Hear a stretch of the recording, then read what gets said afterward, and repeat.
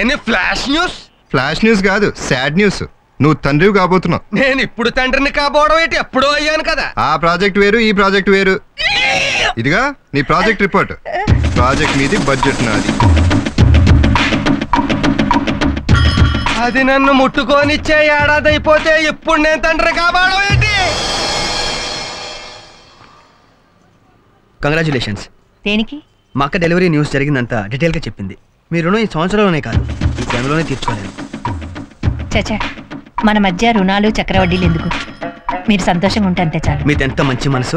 మీ ఆయనకి నాకు పోటీ జరుగుతున్నా ఎంత కోఆపరేట్ చేశారు? పాపం. చేయని నేరానికి మీ ఆయన్ని మా బావ చెరమడ తిట్టేశాడంట. ఆయన చూస్తే జాలేసింది. కానీ నిజం ఏంటో మనకి తెలుసు.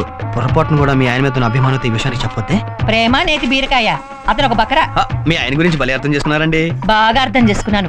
గొర్రెలాగా మేయటం తప్ప మన ప్రాజెక్ట్ విషయాలు ఆయనకి తెలుస్తాయి? అమ్మయ్యా ఓ ప్రాబ్లం సాల్వ్ అయింది. ఈ శుభ సందర్భంలో మీకేం కావాలి? హాఫ్ కిలో హల్వా. చచ్చే హాఫ్ కిలో ఏంటి? ఫుల్ కిలో తెస్తాను. అన్ని కిచెన్ హెల్ప్ నో థ్యాంక్స్ వంట పూర్తయింది. భోంచేసి వెళ్ళొచ్చుగా? ఈ శుభవార్త తెలిసాక ఆకలేట్లేదు పర్సనల్గా మళ్ళీ కలుసుకుందాం. బాయ్ బాయ్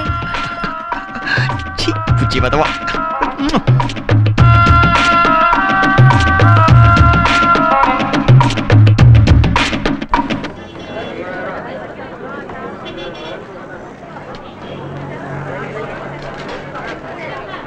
ఉల్లిపాయల కేజీ ఎంత? ఇలా ఐదు రూపాయలమ్మా హాయ్. హాయ్. ఏంటి ఇలా వచ్చారు? కూరలు కొనటానికి. నా డౌట్ నిజమే. వీళ్ళ రహస్య మీటింగ్ ప్లేస్ కూరగాయల బండి అనమాట వీళ్ళకి వాస్తు ఎక్కడ కలిసిందనమాట. చెప్తా. అవును. మీ అక్కకి పుట్టపోయే బిడ్డకి ఏం పేరు పెడదాం అనుకుంటున్నారు? ఆ, మీరే చెప్పండి. నువ్వు చెప్పు. ఆ, కాదు కాదు మీరే చెప్పాలి. నువ్వు చెప్పవయ్యా. ఏంటి? కువ్వల జంట టైప్లో గుసగుసలాడేసుకుంటున్నారు గోడచారి టైప్లో వినేస్తాను? మీరే చెప్పండి. కాదు నువ్వు చెప్పు. అబ్బా మీరే చెప్పండి. అదేంటో ఎవరో ఒకరు తొందరగా చెప్పి చావండి. యువతల టెన్షన్తో నరాలు తెగిపోతున్నాయి. సరే నేనే చెప్తాను. ఆ, బాబుకి మీ ఆయన పేరు పెడితే ఎలా ఉంటుంది? చండాలంగా ఉంటుంది. ఏ? ఆయన ఫేసే కాదు పేరు కూడా బాగుంటది ఓ. బాబుకి ఆ. నీకన్నా మా ఆయన ఎక్కువ కాదు కదా అందుకని నీ పేరు పెట్టడం న్యాయం ధర్మం. ఏదో పని చేసి కూడా అందులో కూడా మళ్ళీ న్యాయం ధర్మం మాట్లాడుతుంది. నా పేరు పెడితే మీ ఆయన కోపం వస్తుందేమో? ఆ. ఆ మొహానికి కోపం ఒకటే తక్కువ. ఎదవ ఫేసు. కుళ్ళిపోయిన ఉల్లిపాయలా ఉంటాడు. ఆడితో తిరిగినందుకేమో పక్కన నేను కుమిలి కుమిలి అడిచేస్తుంటే ఆడి ముందే నన్ను సొలకం చేసేస్తుంది. అసలు దీనికి సొల్యూషన్ లేదా? చెప్తా. చెల్లక్క ఏ తోడు లేక ఎటే పమ్మ ఒంటరి నడక. జోష్యం పాట చెబుతాం ఫ్యూచర్ చెబుతాం రన్నింగ్ చెబుతాం. చిలక అనగానే చిలక కనిపించేసింది. నా ప్రజెంట్ ప్రాబ్లం కి ఇది ఒక్కతే ఆన్సర్ ఇవ్వగలదు. కూర్చో కూర్చో. రన్నింగ్ ప్రాబ్లం ఏంటి? నేను బయటికి చెప్పుకోలేను సీక్రెట్ ప్రాబ్లం తో బాధపడుతున్నాను ఆ. నీ చిలక ఏమైనా చెప్పగలిగితే చెప్పించు. చెప్పిస్తాను. చిలక రామచిలక భవిష్యత్తు మొలక బంగారు మొలక బాబుగారు బతికే ఉంటో వివరంగా చెప్పు. దా. రామ కోదండ రామ భద్రాచల రామ. రామ్ రామ్. ఏం రాసిందో చదువు. ఆహా. తమరి జాతకం మహర్జాతకం. మూడు పువ్వులు ఆరు కాయలు. తమరికి తమరి పెళ్ళావంటే చాలా ఇష్టం. మరి నా పెళ్ళానికి నేనంటేనో? సగమే ఇష్టం. మిగతా సగం? తికమక పడుతూ భూమి చుట్టూ తిరుగుతోంది. అదేనయ్యా నా ప్రాబ్లము. మరి నా ప్రజెంట్ పొజిషన్ ఏంటి? నీ పొసిరికేటి బ్రహ్మాండం? నీ జాతకంలో ఒకే ఒక పెళ్ళం ఒకే ఒక కొడుకు. హ్యాపీ లైఫ్ అబద్ధం. నా భార్య మళ్ళీ కడుపుతో ఉంది నేను చెప్పేది నీ జాతకం. నీ పెళ్ళం జాతకం కాదుగా. అంటే? ఇదిగో ఇందాక చెప్పాను కదా తికమక పడుతూ భూమి చుట్టూ తిరుగుతోందని దాని ప్రభావం. ఆ ఎరకాటంలోంచి బయటపడాలంటే ఏం చెయ్యాలి? ఆ చిలక కొట్టిన మందని ఒక మందు ఉంది ఆ మందు ఇస్తాను ఐదు వందల రూపాయలు. ఐదు వందల ఆ. సర్లే బంగారం లాంటి పెళ్ళమే ఎత్తడైపోయాక ఐదు వందలు ఇచ్చేస్తుందిలే. తీసుకో మంది వచ్చావా బంగారు తల్లి బంగారు తల్లి. దుర్గమ్మ మధురి మీనాక్షి కంచి కామాక్షి దా దా. ఇదిగో తీసుకో. ఏయ్, ఇదేంటో హాఫ్ బాటిల్ మందు? ఇది ఐదు వందలేంటి? అరవై రూపాయలు. అక్కడే పప్పులో కాలేసావు. మామూలు జామకాయకి చిలక కొట్టిన జామకాయకి రుచిలో తేడా ఉన్నట్టు మామూలు బ్రాందీకి చిలక కొట్టిన బ్రాందీకి పవర్లో తేడా ఉంటుంది. నాకేం అక్కర్లేదు ఐదు వందలకి ఇచ్చి. ఇదిగో ఒకసారి మందు తీసుకుని తిరిగి ఇచ్చేస్తే చిలక కోపం వస్తే పచ్చవాత వచ్చేస్తుంది.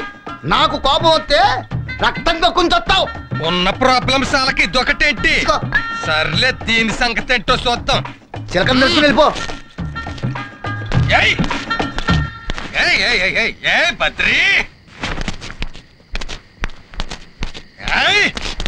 ఎవడ్రా నువ్వు? అటిస్ టైంలో అర్ధరాత్రి నా రోడ్డు మీద నిలబడతారు నడుస్తారా? ఎవడ్రా నీ పేరేంటి? బద్రి.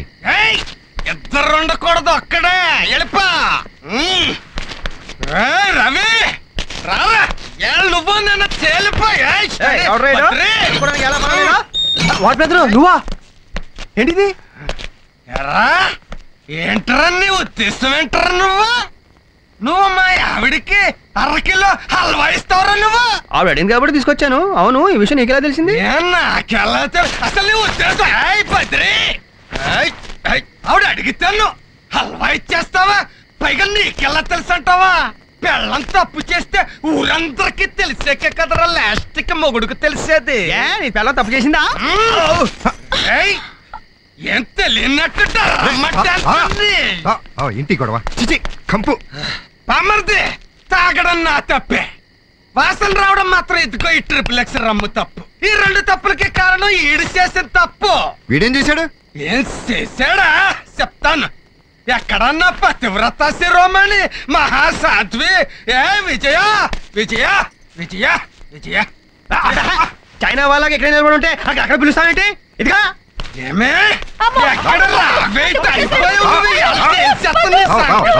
ఏం బావ ఏదో గొడవ? బామ్మర్దే పొద్దున్నది వాంతి చేసుకుంటుంటే నన్ను తిట్టేవా లేదా నువ్వు? ఆ, తిడితే నువ్వు తిట్టాల్సింది నన్ను కాదు. ఏంటి అన్నా ఎందుకు? ఇది వాంతి చేసుకోవడానికి కారణం నువ్వురా. అమ్మో అమ్మో నోటికొచ్చినట్టు వాగుతున్నారు ఏమిటండి! తప్పు చేసి పైగా సతీ సావిత్రిలా మాట్లాడుతున్నావేంటే? నిన్ను స్టడీ అక్కడ అనుమానిస్తున్నావా? గర్వంతో చెప్తున్నాను. అది గర్భంతో నిలబడింది చూసుకో అది రాంగ్ రూట్లో అమ్మో అమ్మో అమ్మో ఎన్ని అబాండాలు వేస్తున్నావు నా మీద? ఏంటే? నిజం చెప్పు. అసలు ఆడు నిన్నెప్పుడు గోకాడు అని నువ్వెప్పుడు గీకావు ఐ వాంట్ డీటెయిల్స్ నేనే తప్పు చేయలేదండి. ఏ తప్పు చెయ్యకపోతే మరి ఆయన నువ్వు హాఫ్ కిలో హల్వా ఎందుకు అడిగావే? రమ్య నన్ను క్షమించమ్మా. నిజం చెప్పకపోతే నా కొంప కూలిపోయేలా ఉంది. ఏవండి పొద్దున వాంతి చేసుకుంది నేను కాదు. రమ్య. పద్దు ఇప్పుడిప్పుడే పిల్లలు వద్దన్నాడట. రమ్య గర్భవతిని తెలిస్తే ఎక్కడ అబార్షన్ చేయించుకోమంటాడోనని భయపడింది. అందుకే నేను వాంతి చేసుకున్నట్టు నటించాను. నిజమా? ఏంటిది. విజయ సీతమ్మని రావుడు అనుమానించినట్టు నేను అనుమానించాను. సారీ డార్లింగ్ ఈ మొహానికి సారీ ఒకటి. పైగా బద్రి బద్రి అట బద్రి రే రవి నీకు నా పెళ్ళానికి అక్రమ సంబంధం అంటకట్టానురా సో సారీ బ్రదర్ ఏటే? నాకు నీ పిల్లలతో అక్రమ సంబంధమా! అంత చీప్ టేస్ట్ అనుకుంటున్నాను అది ఆ ఫేస్ చూడు. ఫేస్ అసలు ఏమనుకుంటున్నావు నా గురించి చూడు? ఏంటిది? ఆ- రోజే నా జాగ్రత్తలోనే ఉందామని విశ్వప్రయత్నం చేశాను. కానీ ప్రకృతి పరిస్థితులు అనుకూలించక ప్రమాదం అలా దూసుకొచ్చింది. ఆ ఒక్కరోజేనా ఆ, ఆ, కాదనుకో. అయినా ఈ విషయం నా దగ్గర ఎందుకు దాచావు? ఏ ఆడదైనా గర్భవతి అయితే మొదట చెప్పేది భర్తతోనే. కానీ మీతో చెప్తే మీరు అభాషణ చేయిస్తారని భయం వేసి. ఇల్లు మన సొంతం అయ్యకు పిల్లలు వద్దని చెప్పా కదా. ఏంటండి? ఇల్లు ఇల్లని ప్రతిదానికి ముడిపెడతారు. సిమెంటు ఇటుకలతో కట్టిన మీ ఇంటి మీదే మీకంత మమకారం ఉంటే నా కడుపులో పెరుగుతున్న నా బిడ్డ మీద నాకెంత మమకారం ఉంటుందో ఆలోచించారా? సరేనండి నేను ఇప్పుడు అభాషణ చేయించుకుంటాను. రేపు మీ ఇల్లు మీకు తిరిగి వచ్చాక తిరిగి ఇదే బిడ్డ నాకు ఇవ్వగలుగుతారా? మీ ఇంటిని విడిపించి మీ అమ్మా నాన్నల ఆత్మను సంతోషించేలా చేయాలనుకున్నారు. మీ అమ్మా నాన్నల మీద మీకంత ప్రేమ ఉంటే నన్ను అమ్మా అని పిలవబోయే నా బిడ్డ మీద నాకెంత ప్రేమ ఉంటుందో ఆలోచించారా? రమ్య నాతో ఎందుకు చెప్పలేదన్నానే గాని నిన్న అబార్షన్ చేయించుకోమని నేను అన్నానా?